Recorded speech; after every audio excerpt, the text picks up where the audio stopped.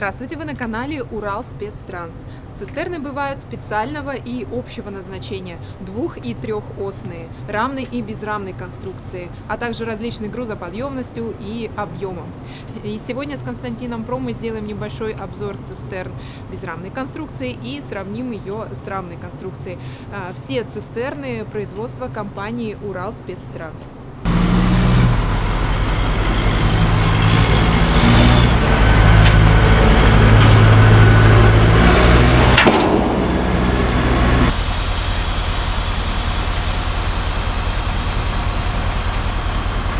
А зачем вообще его поднимать, опускать?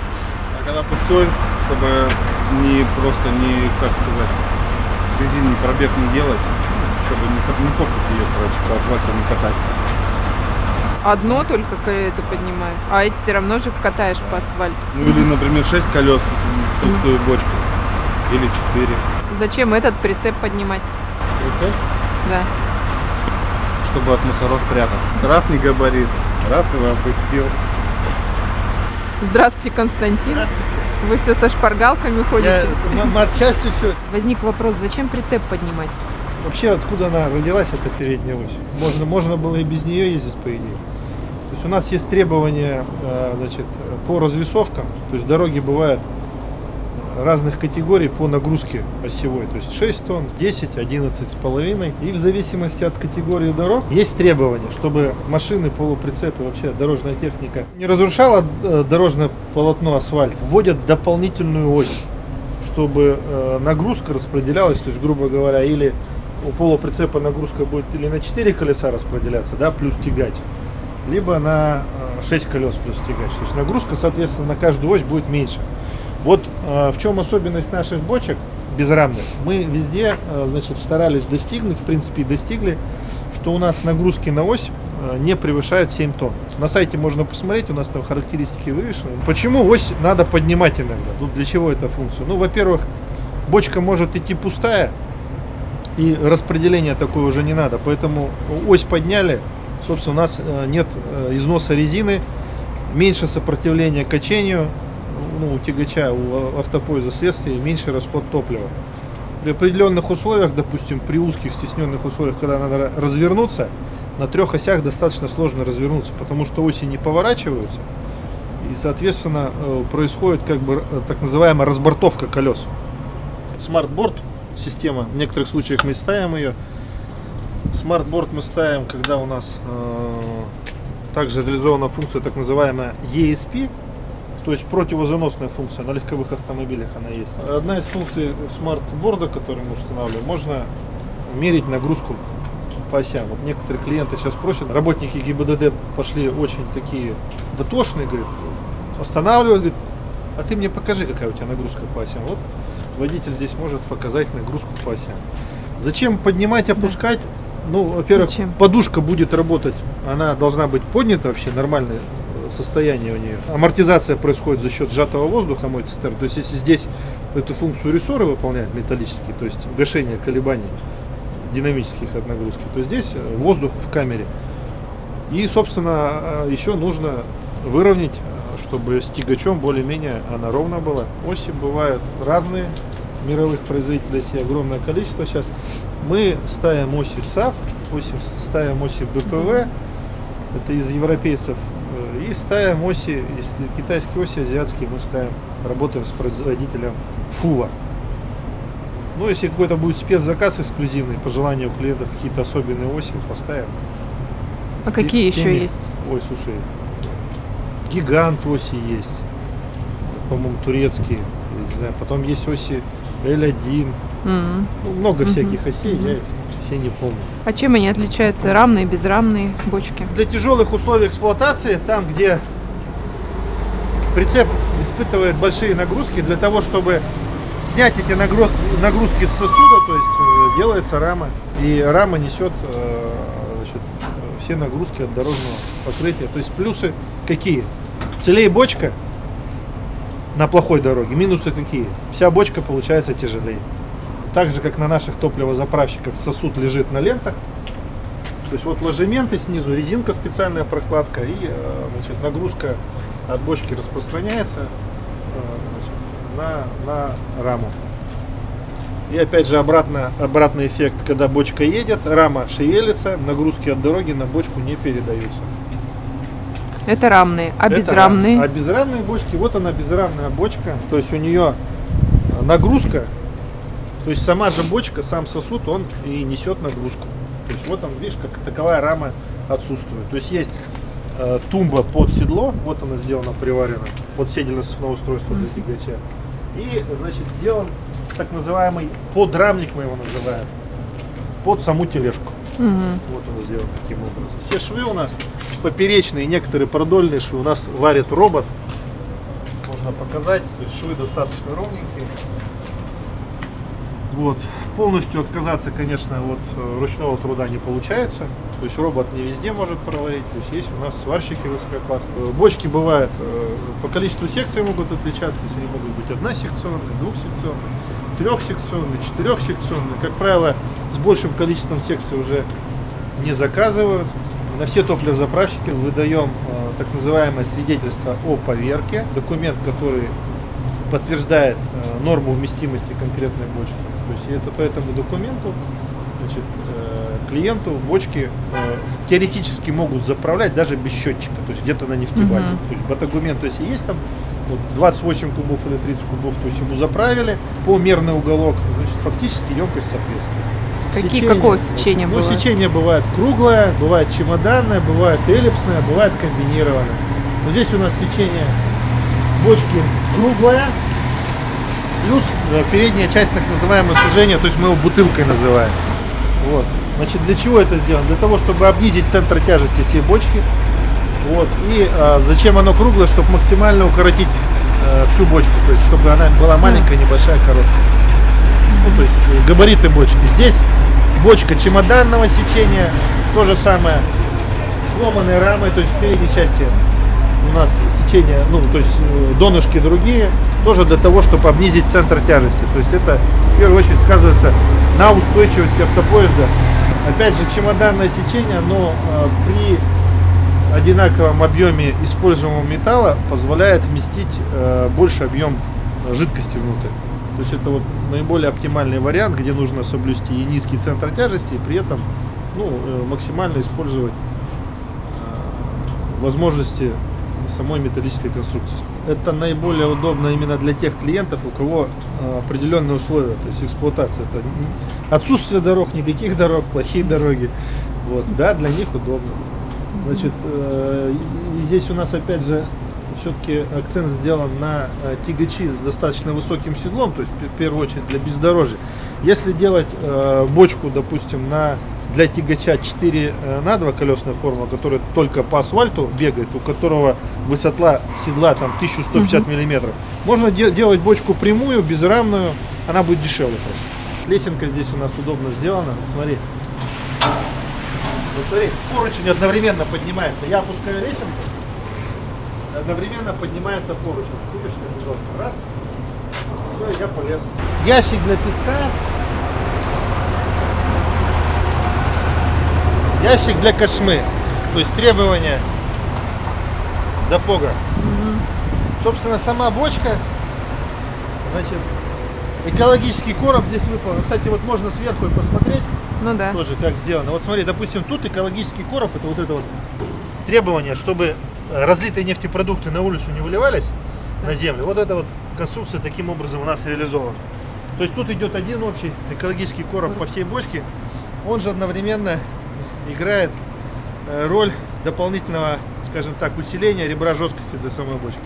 Вот, допустим, на равную бочку, если мы посмотрим, там экологический короб сделал над, э, каждой, над каждой секцией. Вот. Там тоже э, трап сделан подъемный алюминиевый.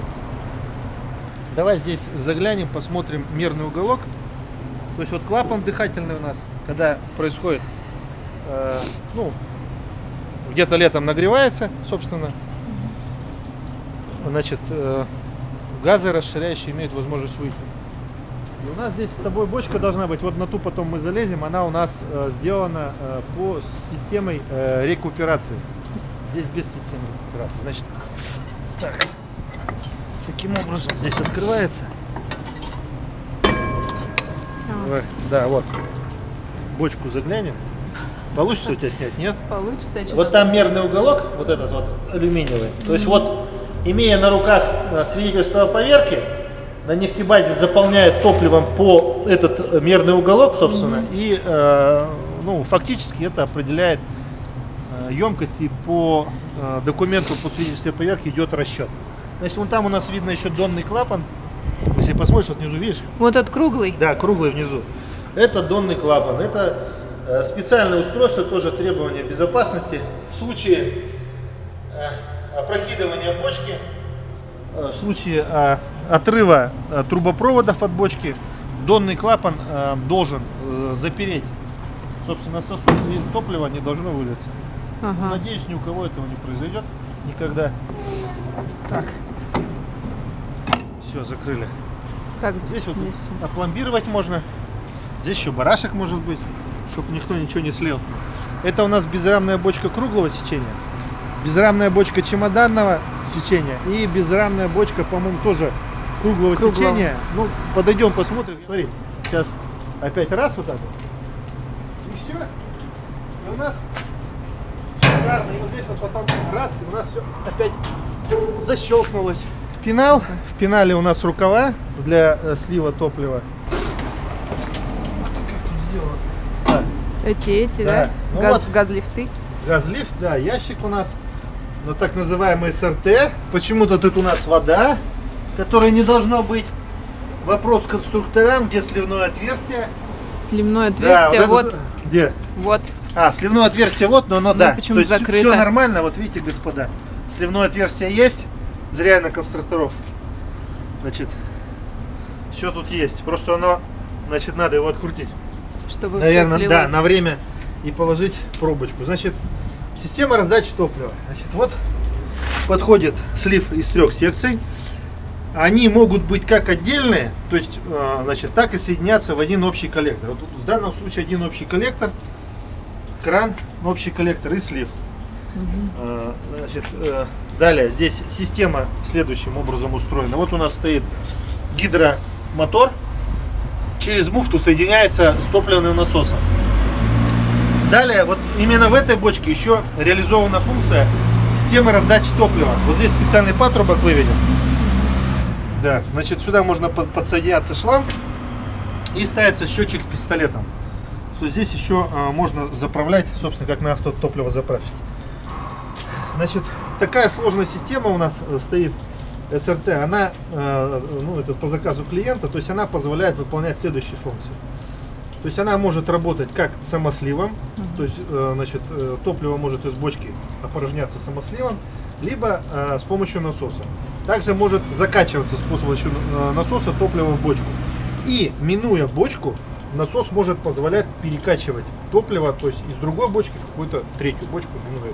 Вот, вот для этого такая система сделана. Потом посмотрим, там есть более простые системы. Что, закроем? Да. А, вот еще, подожди. Управление донными клапанами. Вот здесь вот пневматическое управление донными клапанами. Специальный фильтр стоит, э, именно воздушный. Вот как раз про те донные клапана, которые мы говорили. Сейчас вот отсюда его будет видно. Вот, вот если, вот, вот, вот, не знаю, вот, смотри, вот, вот он, видишь, вот там. Когда водитель приехал, ему надо слиться, он донный клапан открывает. Нормальное положение у донного клапана закрыто.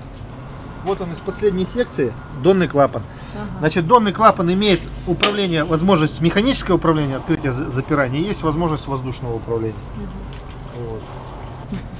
И вот в этой бочке я сказал, что есть система раздачи топлива. Так. Ну, может быть реализована. Вот, э, значит, крючки для шланга. Здесь подразумевается установка счетчика, как правило, это ППО-40. И потом э, шланг опять возвращается в ящик, должно быть отверстие, туда раздаточный пистолет. Здесь более простая система управления стоит, тормозов, без э, смартборда, без подкачки пневмоподвески, потому что здесь стоит рессор. Ага, смотри, закрывается.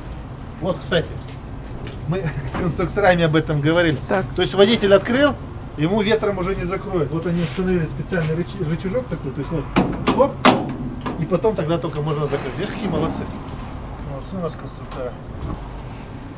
А, значит, пеналы для огнетушителей. Давай посмотрим. Значит, вот у нас огнетушители и пеналы. То есть э, требование вообще, чтобы огнетушитель был. Э, Пенал это, собственно, функция не обязательно, но это вот такое требование есть, что огнетушитель должен быть защищен от осадков. Ну, в данном случае пенал. Здесь вот кран, кстати, специальный, тоже из воздушной системы э, стоит для подкачки шин. То есть водителю не надо, допустим, с тягача тянуть шланг, если ему надо подкачать шины сами. Вот он специальный краник стоит. То есть он сюда одел, вот, видишь воздух. А, вот мы там говорили про экологический короб наверху с тобой. Это вот как раз слив из экологического короба. Сейчас открою. Ну, вот, значит, в этой бочке водички нету наверху. Мгм. То есть вот это закрыто, он открыл и остатки топлива куда-то в ведро слил. Кульки для того, чтобы где-то бочку откуда-то вытягивать можно было. Тут СРТ должно стоять другое, попроще. Что у нас тут? Ну, зип. Я даже затрудняюсь, что это такое. Ну да, да, это какой-то зип, ну, вот ступичный ключ. Это у нас э, знак опасности. Так, давай покажу. Вот здесь как раз а, общий коллектор отсутствует. Здесь слив из каждой секции отдельный. Он не соединен. Катушка заземления, заземления тоже, значит, управление донными клапанами, фильтр, давление на воздух. Тут что-то еще лежит. Что тут у нас лежит? Там какие-нибудь ключи, я думаю, Давай посмотрим. Будем знать, что тут лежит. железяки. Нет? Да, кстати, там баллонник лежал, вот ступичный, я извиняюсь. Вот ступичный ключ, А. и там еще какой-то ключик лежит. Вот так крышечки. Вот, кстати, видишь, слив открытый из экологического короба. Вот дождь идет, водичка сливается. Тут тоже ось ИСА, тоже система Smart Board, то есть нагрузка по осям. Э, Можно смотреть.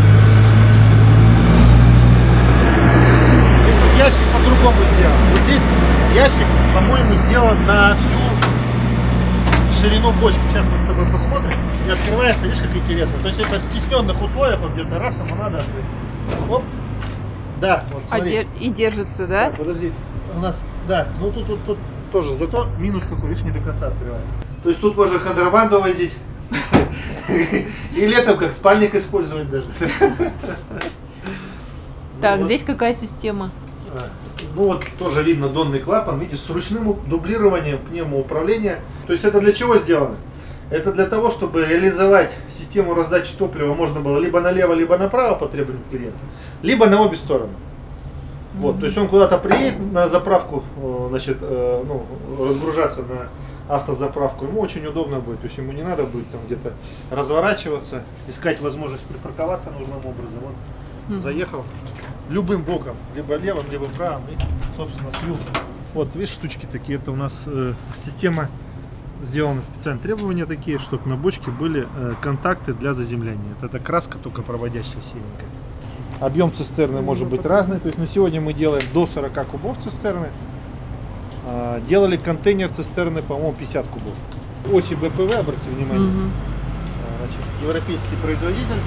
И эта бочка, кстати, тоже на алюминиевых дисках. Вот эти алюминиевые диски в общей сложности э, позволяют с учетом запаски сэкономить вес бочки. Здесь именно диски э, специальные стоят фирмы Alcoa. Кованые диски. А, куб. Алюминиевые кованые диски. Вот здесь вот алюминиевые штампованные диски. Там стальные диски. То есть различия по дискам. Ну, это вот диски дорогие, так скажем так, на любителя, но они дают э, возможность бочку облегчить. Для чего нужна система рекуперации газов? То есть это у нас же все, все модно идет с Европы. Специальное соединение. И вот этот блок как раз электрон для подключения снимающего электронного устройства для автоматического автоматической заправки, заправки этой бочки. То есть как оно работает. Бочка приезжает э, на нефтебазу куда-то. Сюда подключается специальный коннектор, э, который связан, ну, провод, который связан э, с нефтебазой. И оператор непосредственно у себя по компьютеру заправляет. Там наверху вот видно шлейфы идут. Видишь, от каждой горловины идут электрошлейфы. Там э, значит, установлены датчики заполнения. И э, оператор у себя на компьютере, собственно, э, в режиме реального времени отслеживает фактический объем заполнения бочки. Как только бочка заполнилась, дает сигнал, Сигнал. на да, туда, и насос перестает качать и заправлять топливо. В процессе заправки здесь заправка производится нижним наливом, то есть не через горловину, а снизу подключает оператор в нужную секцию шланг, и заправка происходит снизу. Не сверху через головину, а снизу. Мгм. Но э, пары, которые находятся в бочке, они вытесняются топливом, и им надо куда-то выходить. То есть их, конечно, можно выбросить э, в атмосферу, но, собственно, мы же боремся за экологичность. Поэтому эти пары все со- собираются и по специальному трубопроводу, вот здесь он вот прямоугольного сечения, он выходит, опять же, подключается шланг, где-то там на нефтебазе или на, на а, заправке, и через специальную систему конденсации э- эти пары конденсируются, собственно, и в виде топлива опять а, сливаются в резервуар. Это переходник. а, Зачем, значит, зачем он? Ага, вот, вот видишь, а, при нижнем заливе, вот она у нас, когда защелкивается, она надавливает, вот видишь, Да. и открывается автоматически. Сдергивается, когда она закрывается. А это переходник на а, обычное наше соединение, более распространенное. Вот это у нас полутопливный шланг. Газовый и желтый, Да, все ну, правильно. Это вот как раз, чтобы пары собирать. Мгм. вытесняемые из бочки пары собирать. Вот обрати внимание, какой толщины пеналы, собственно, это вот ПНД труба. Она достаточно себя неплохо ведет, в том числе на морозе. То есть вот пеналы достаточно стойкие. Наши безрамные бочки, у клиентов у наших есть опыт эксплуатации с тягачами вездеходами, то есть с КАМАЗом 53504, с Уралом 44202, они себя неплохо показали. То есть, несмотря на то, что рама отсутствует, клиенты, которые делают, ну, ведут смешанные перевозки и в условиях хороших дорог и в условиях бездорожья, э, тоже неплохо э, используют наши бочки. И там, и там. Достаточно крепкие Ну все, получается. Да, бочки Урал спецтранс. Хорошие бочки. на этом пока все. Не забывайте подписывайтесь на канал Урал Спецтранс и задавайте свои вопросы в комментариях. Всем пока!